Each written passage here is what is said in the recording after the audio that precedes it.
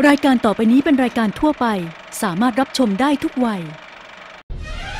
Hey, hey, yeah, yeah. Work it, work it out. Check it, check it, check it out. Okay, now. Hey, hey, yeah, yeah. Hey, hey, yeah, yeah. สนับสนุนโดย ซอสหอยนางรมสูตรเข้มข้นตราเด็กสมบูรณ์ ใหม่ หอมอร่อยยิ่งขึ้น เครื่องปรุงรสไอเชฟ PTT Live Station ความสุขหลากสไตล์ในที่เดียว สวัสดีค่ะคุณผู้ชมคะสำหรับวันนี้นะคะ รายการของเราตั้งใจที่จะสร้างความสุขให้คุณผู้ชมแบบสุดๆ ไปเลยค่ะ คุณผู้ชมคะยังอยู่ที่อาณาจักรเลยนะคะ ที่นี่ Bangkok Christmas ค่ะถือว่าเป็น one stop service ของเทศกาลคริสต์มาสค่ะ เราเห็นคริสต์มาสต้นใหญ่ๆนะคะในห้างสูงนะคะ สุดลูกหูลูกตาเลยนะคะ นี่แหละค่ะส่งมาจากที่นี่นะคะ เดี๋ยวเราไปพบกันในช่วงต่อไปค่ะ แต่ว่าในช่วงนี้นะคะน้องเนสกับน้องทอมมี่รอคุณผู้ชมอยู่ค่ะ และเดี๋ยวเราค่อยมาเจอกันที่ที่นี่ Bangkok Christmas ค่ะ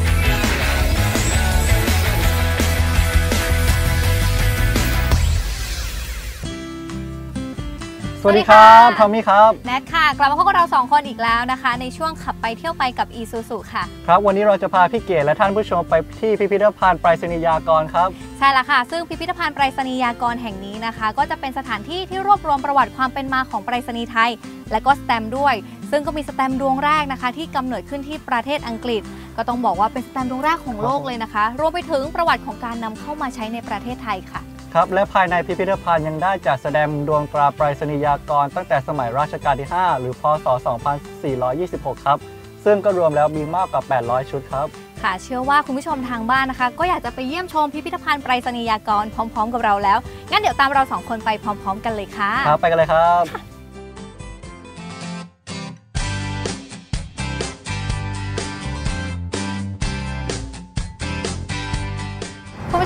ตอนนี้เราสองคนก็มาอยู่กับพี่สมส่วนแล้วล่ะค่ะ ซึ่งพี่สมส่วนก็เป็นหัวหน้าส่งเสริม และพัฒนาการเรียนรู้ที่พิพิธภัณฑ์ไตรษณียากรแห่งนี้ งั้นเดี๋ยวเรามาทำความรู้จักกับพี่สมส่วนพร้อมๆกันเลยค่ะตอนนี้ค่ะสวัสดีค่ะ สวัสดีค่ะค่ะเดี๋ยวก่อนอื่นนะต้องรบกวนพี่สมส่วน บอกเล่าถึงประวัติความเป็นมาของพิพิธภัณฑ์ไตรษณียากรแห่งนี้หน่อยค่ะ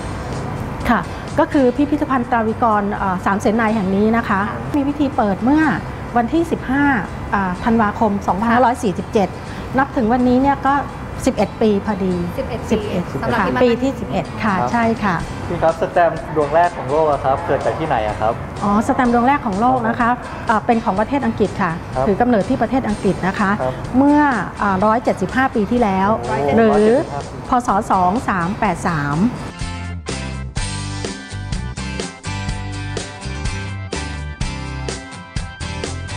แล้วดวงใช่ค่ะแรกของประเทศไทยล่ะคะดวงแรกของประเทศไทยเราก็จะโชว์อยู่ในบอร์ดในพิพิธภัณฑ์นี้เหมือนกัน มีโชว์เหมือนกัน มีโชว์ค่ะ เดี๋ยวเราไปดูทางด้านนี้นะคะในตู้ค่ะใช่เลยค่ะค่ะอันนี้ก็คือสแตมป์ชุดแรกของไทยนะคะค่ะ ชื่อว่าชุดโสรสโสรสนะคะค่ะค่ะโซโลนี่คืออะไรอะคะพี่ โสรสคือค่าเงินอ่าต่ำสุดในสมัยรัชกาลที่5นะคะในสมัยโบราณ ก็มีทั้งหมด 6 ดวงนะคะ ชุดแรกของเรา อันนี้ก็เป็นชุดต่อๆมาที่ที่ผลิตในในช่วงต่อๆมานะคะ ซึ่งทั้งหมดสแตมป์ที่ผลิตจนถึงปัจจุบันเราก็จะนำมาจัดแสดงไว้ในตู้โชว์เรื่อยไปทางด้านนู้นค่ะอันนี้เรียงตามปีค่ะเรียงตามปีเลยค่ะ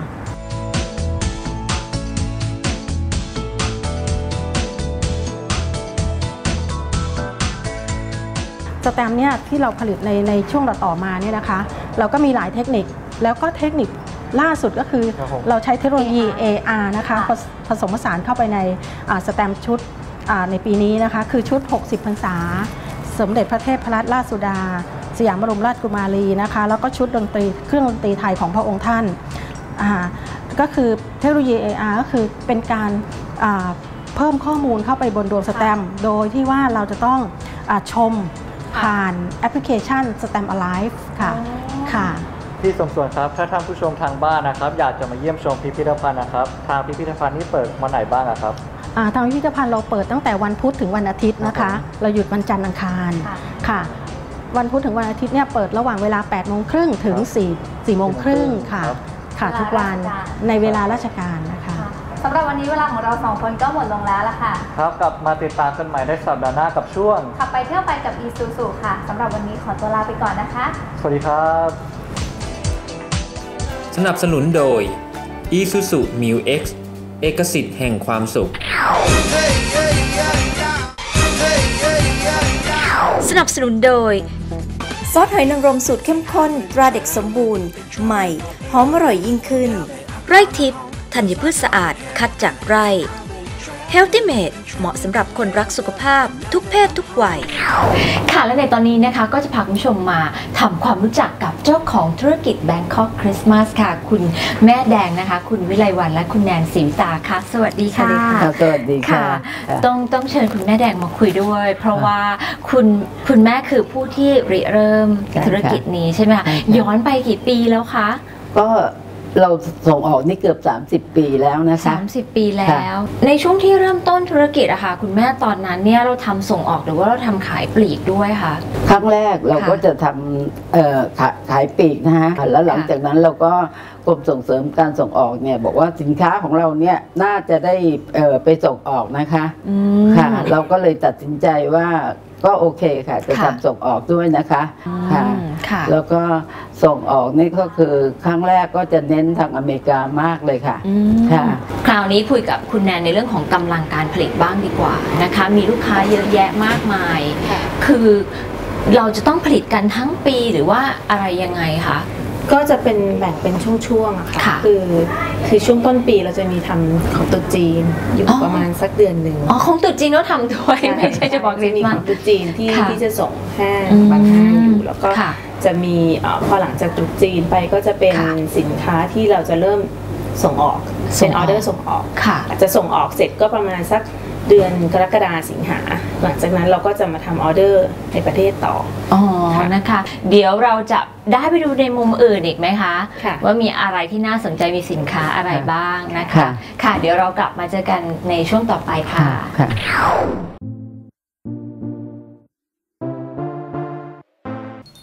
สวัสดีค่ะ อันยองอาเซโย ตอนนี้นะคะที่เกาหลีเนี่ยฮิตทุกอย่างเลยฮิตทำหน้าฮิตดาราฮิตซีรีส์ฮิตอาหารเกาหลีนะคะ แต่ก็ผู้หญิงไทยบางคนมีชื่อเกาหลี แต่เป็นชื่อเกาหลีที่แบบเออฟังแล้วนิดนึง อย่างเช่น พุงนำนมอะไรอย่างนี้ คือเมื่อสองครั้งก่อนเราพูดถึงความน่าเกลียดความ ยะหน้าขยะแขยงของไขมันไป เราก็เลยรู้สึกว่าแบบโอ้มันเป็นเรื่องที่รับไม่ได้ที่มันจะอยู่ในตัวของเราอีกต่อไปแต่ต้องดูดมันออกเดี๋ยวนี้ แต่เราลืมไปว่ามันจะมีร่างกายบางส่วนนะจ๊ะที่ยังต้องการไขมัน ยิ่งไขมันเยอะยิ่งดี ซึ่งส่วนนั้นก็คือทาดาหน้าอกของเรานั่นเองนะคะ ส่วนใหญ่จะสังเกตเห็นผู้หญิงไทยเป็นอะไรไม่รู้ ส่วนที่ควรเว้าก็นูน ส่วนที่ควรนูนก็เว้านึกออกไหม ส่วนที่ควรเว้าเช่นเอวก็ดันนูนออกมา ส่วนที่ควรนูนเช่นหน้าอกก็ดันเว้าเข้าไป ฉะนั้นเนี่ยมันก็จะเป็นเขาเรียกว่า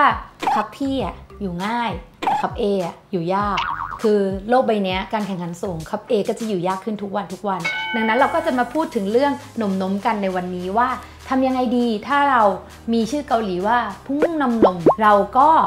ก็ซีรีอะ ซีรีเท่านั้นน่ะคือทางออกของเราอะซีรีโคนเท่านั้น คือทางออกของสาวคับเอทุกคน และเราสนับสนุนให้ผู้หญิงทุกคนมีหน้าอกเป็นของตัวเองนะจ๊ะ ผู้หญิงไทยไม่แพ้ชาติใดในโลกถามว่าวิธีการทำหน้าอกมันมีแบบไหนบ้าง โอเค ก็ต้องเริ่มจากรุ่นสมัยพระพระเจ้าขุนรามคำแหงดึกดำบรรพ์ก็คือซีรีโคนที่รักของเรานั่นเองนะคะ แล้วใส่ปุ๊บเข้ามาเป็นซาลาเปาสองลูก ซึ่งจะเอาใหญ่เอา 800 แม็กซงแม็กแอมมี่แม็กซิม 800 ฉันเอา 900 เดินจนคว่ำหน้าไปเลยก็ได้ เพราะว่ามันคือซิลิโคนนึกออกไหมคะ แต่มันก็จะมีความเป็นกลมบล็อก มีธรรมชาติดูหนึนกะแล้วอะไรอย่างเงี้ย มันก็จะมี มันก็เลยทำให้มีวิวัฒนาการทำให้มันธรรมธรรมชาติขึ้น เพราะว่าสมมุติว่าเราไอไอไป แล้วพอ อุ้ยตายละไม่ไม่สบายอะ่ะ ขอไปเอ็กซเรย์ปอดหน่อย พอเอ็กซเรย์มันก็จะโชว์พริ้งซาลาเปาวราภรณ์สองลูก อยู่ในฟิล์มเอ็กซเรย์อะไรอย่างเงี้ยนะคะ มันก็จะฮาฮานิดนึงเขาก็เลยคิดนวัตกรรมขึ้นมาใหม่ โดยการใช้การฉีดฟิลเลอร์ หรือว่าการฉีดหน้าอกขึ้นมา ซึ่งอันเนี้ยหมอต้องขอเตือนว่าตอนนี้นะตอนนี้เนี่ยสารตัวเดียวที่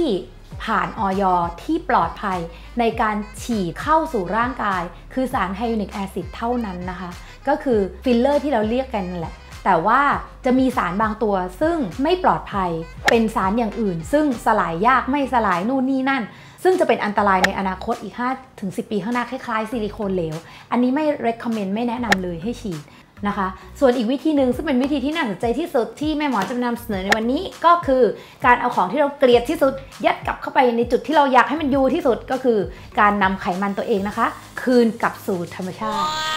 แต่แค่ย้ายที่เท่านั้นเองคือเราโดดจากที่ไม่ต้องการ เช่น เราไม่ต้องการให้สะโพกใหญ่ ไม่ต้องการพุงให้มานำนม เราก็เอาพุงขึ้นไปเป็นนม เอานมไปนำพุงอย่างนั้น ซึ่งมันก็จะมีวิธีการหลากหลาย ตั้งแต่ CAL ก็คือตัว cell assisted lipotransfer lipotransfer เฉยๆ แม้แต่ตัวที่ใหม่ล่าสุดก็คือเ a เซอร์สมูทก็คือตัวที่ดูดไขมันที่เราคุยกันครั้งที่แล้ว แล้วก็นำ เข้ามาเป็นระบบปิดตึ๊กตึ๊กตึ๊กตึ๊กเอาไขมันที่ดูดออกมาได้ ใส่ไปในโหลตึ๊กตึ๊กตึ๊กทำให้มันกลายมีแบบแพร่พันธุ์สเต็มเซลล์ของมัน ดึงดึงดึงดึงดูดซึสกลับมาแล้วก็ฉีดบนหน้าอก ฉีดกลับเข้าหน้าอก ซึ่ง1ข้อดีก็คือว่าไม่มีแผลปกติเนี่ยคนทำหน้าอกโดยซิลิเนี่ยจะมีแผลคือจักกะหรือใต้ราวนม แต่ถ้าเป็นการฉีดไขมันตัวเองเนี่ยมันก็เข็มที่ฉีดเข้าไปเนี่ยก็ใหญ่ประมาณไม่ใหญ่กว่าเข็มเจาะเลือดมากมายนัก มันก็เป็นรูแล้วก็ ปิดไปเหมือนเหมือนเวลาเราเจาะเลือดอะค่ะประมาณนั้น ซึ่งมันก็จะเป็นเป็นแผลที่แบบไม่ไม่ไม่มีใครรู้ว่าเป็นการฉีดหน้าอกอะไรทั้งสิ้น เราจึงไม่ถือว่ามันเป็นศัลยกรรม จริงๆมันใช่ค่ะ แต่เพียงแต่เราขอบใจตัวเองว่าเราไม่ได้ผ่านการทำศัลยกรรมมา ซึ่งอันเนี้ย ปลอดภัย แล้วก็เหมาะกับพวกคุณแม่ให้นมลูกแล้วหย่อนยาน การมีไขมันเยอะๆ แต่ว่าทำไมไขมันชั้นไม่ไปสะสมตรงหน้าอกเลย อะไรแบบนี้ไอ้วิธีนี้ก็จะเป็นวิธีที่ดีค่อนข้างจะที่สุด แล้วครั้งหน้าเราก็จะมาอัปเดตเทรนด์อัพอัพอัพความสวยกับหมอของขวัญกันอีกครั้งหนึ่งในสัปดาห์หน้านะคะ วันนี้ขอลาไปก่อน สวัสดีค่ะ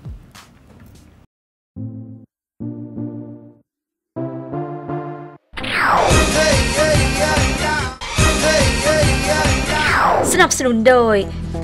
ซอสหอยนางรมสูตรเข้มข้นตราเด็กสมบูรณ์ ใหม่ หอมอร่อยยิ่งขึ้น ไร่ทิพย์ธัญพืชสะอาดคัดจากไร่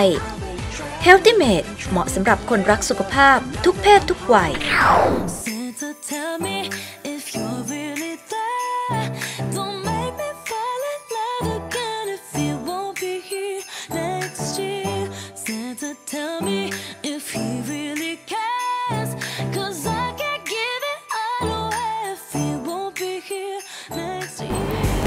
ผู้ชมคะตอนนี้นะคะเก๋ก็มีโอกาสได้มาอยู่ที่โชว์รูมของ Bangkok Christmas นะคะ ต้องบอกทั้งสองท่านว่าพอเก๋เข้ามาแล้วเก๋บอกขออนุญาตอยู่อีกสักสองวันได้ไหมคะ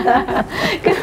เพราะว่าน่ารักมากสวยแล้วเก๋เชื่อว่านี่ขนาดแบบว่าเราโตแล้วยังรู้สึกแบบว่ามันมันแบบมีความสุขนะคะ แล้วเก๋เชื่อว่าเด็กๆมานี่โอ้โหคงตื่นเต้นตื่นเต้นกันน่าดูนะคะ สถานที่แห่งนี้นอกเหนือจากที่เราจะเป็นเอ่อสถานที่เป็นโชว์รูมมาเจรจาธุรกิจกันเห็นบอกว่าอนุญาตให้เด็ก ๆมาด้วยค่ะนะคะมาทัศนศึกษาเหรอคะได้ค่ะอ๋อฮะเด็กๆมาแล้วได้เยทำอะไรกิจกรรมอะไรกันได้บ้างคะเขาก็มาดูดูเกี่ยวกับคริสต์มาสอะค่ะ คริสต์มาสนะคะมีถ่ายรูปมาถ่ายรูปมาดูอะไรเกี่ยวกับประวัติอะไรอย่างเงี้อ๋ยอที่อาจจะเราจะมีพวกเทียนพวกอะไรมีความหมายของคริสต์มาสอยู่ แล้วใครเป็นผู้ออกแบบคะของต่างๆ เหล่านี้ค่ะ เราก็จะมีทีมดีไซเนอร์อะค่ะที่ค่ะที่ที่ช่วยกันออกแบบ แล้วก็จะมีเอ่อ ตัวผู้บริหารเองที่ก็ช่วยมีไอเดียอะไรเงี้ยอืมก็จะแบบให้ไอเดียแล้วก็ค่ะมีไปดูงานต่างประเทศอ๋อค่ะเพื่อเพื่อดูมีดูไอเดียใหม่มีอะไรที่ลูกค้าชอบสนใจแล้วก็นำมาๆใช่ค่ะเช่นต้องเพราะว่าคะสินค้าพวกนี้มันมีเทรนด์ด้วยอะค่ะ พวกสีพวกอะไรอย่างเงี้ยอ๋อมีเปลี่เทรยนนด์ไปทุกปีราคาเทรนด์ของปีนี้คืออะไรคะ คือจะต้องเป็นแนวไหนอะไรยังไง สีส่วนใหญ่ก็จะเป็นเรื่องสีอะค่ะค่ะสีก็ปีนี้จะเป็นทองแดงฮะเป็นทองแดงแดงๆค่ะเอาละค่ะคุณผู้ชมคะนี่คือส่วนหนึ่งค่ะ ที่อยากจะสร้างความสุขให้กับคุณผู้ชมในช่วงเทศกาลคริสต์มาสปีใหม่นะคะ และที่สำคัญนะคะ ธุรกิจของ Bangkok Christmas ช่วยขับเคลื่อนเศรษฐกิจของไทยใช่นะค่ะคะเพราะว่าถือว่าเป็นเอ่อสินค้าที่ส่งออกค่ะนะคะนำเม็ดเงินเข้ามาให้กับประเทศไทยของเราค่ะ วันนี้ขอบคุณทั้งสองท่านค่ะ ขอบคุณค่ะค่ะขอบคุณค่ะค่ะโรงแรม Royal Princess หลานหลวง อาหารกับสุขภาพนั้นเป็นสิ่งที่คู่กัน จนมีคำกล่าวว่า you are what you eat คือ คุณกินสิ่งใดเข้าไป คุณก็จะกลายเป็นสิ่งนั้น ดังนั้น การหันมาใส่ใจเรื่องอาหารที่รับประทานเข้าไป จึงเป็นสิ่งที่จำเป็น แต่ในสังคมปัจจุบันมักมีข้อจำกัดทำให้เราไม่สามารถปรุงอาหารเพื่อรับประทานเองได้ทุกมื้อ ความใส่ใจในการเลือกซื้ออาหารจึงกลายเป็นสิ่งสำคัญ วันนี้ทางรายการจึงขอนำเสนอสาระเกี่ยวกับการรับประทาน ว่ารับประทานอย่างไร จึงจะเป็นประโยชน์ต่อร่างกาย และทำให้สุขภาพแข็งแรง การดูแลสุขภาพในการรับประทานอาหารนะคะ ในชีวิตประจำวันในปัจจุบันนี้นะคะ เนื่องจากว่าเป็นชีวิตที่เร่งรีบมาก แต่เราก็ต้องไม่ลืมคำว่าสุขภาพของเรานะคะ เพราะฉะนั้นในการดูแลเรื่องสุขภาพนั้นสิ่งสำคัญก็คือว่าจะต้องกินอาหารให้ครบนะคะทั้ง 5 หมู่นะคะในอาหาร 5 หมู่มีอะไรบ้างนะคะ ก็คือหมู่ที่ 1 ก็จะเป็นพวกเนื้อสัตว์นะหมู่ที่ 2 ก็จะเป็นพวกข้าวแป้งธัญพืชต่างๆ นะคะหมู่ที่ 3 จะเป็นเรื่องของผักนะผักชนิดต่างๆ สีสันต่างๆนะคะหมู่ทีสี่4 ก็จะเป็นเรื่องของผลไม้นะประเภทต่างๆนะคะและเสือหมู่สุดท้ายก็จะเป็นพวกน้ำมันหรือไขมันนะคะใน 5 หมู่นี้นะคะเราควรรับประทานให้เพียงพอและครบถ้วนนะคะ ซึ่งอาหารนะคะสามมื้อจะเป็นอาหารที่สำคัญมากนะคะเราควรรับประทานทั้ง 3 มื้อ โดยเฉพาะมื้อเช้านะมื้อเช้าจะเป็นมื้อที่สำคัญที่สุดนะเพราะว่า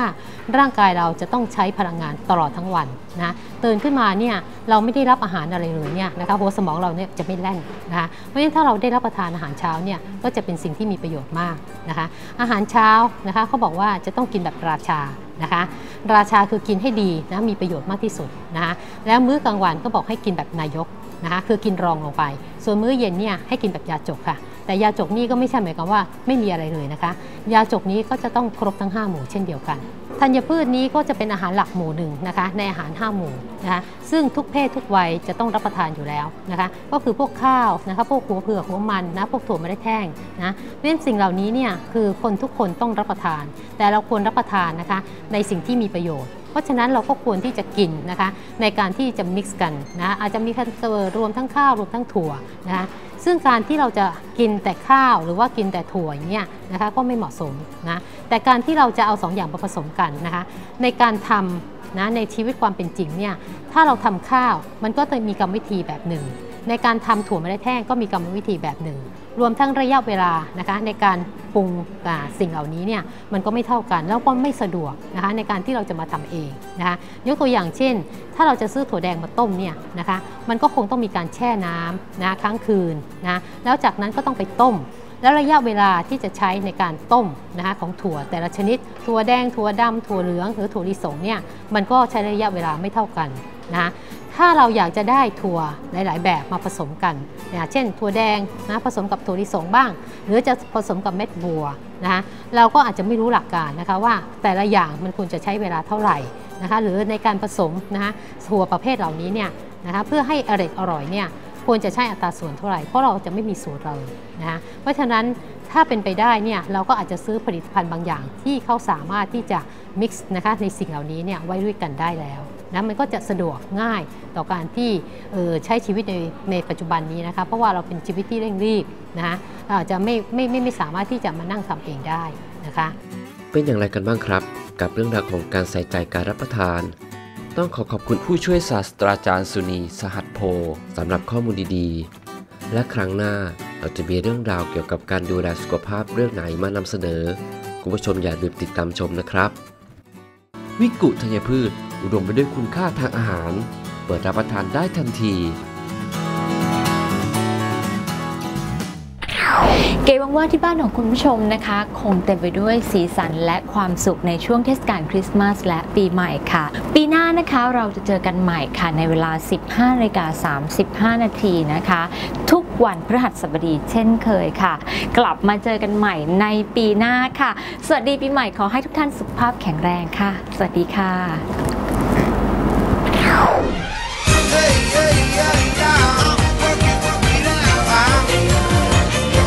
check it, check it out. I'm okay now.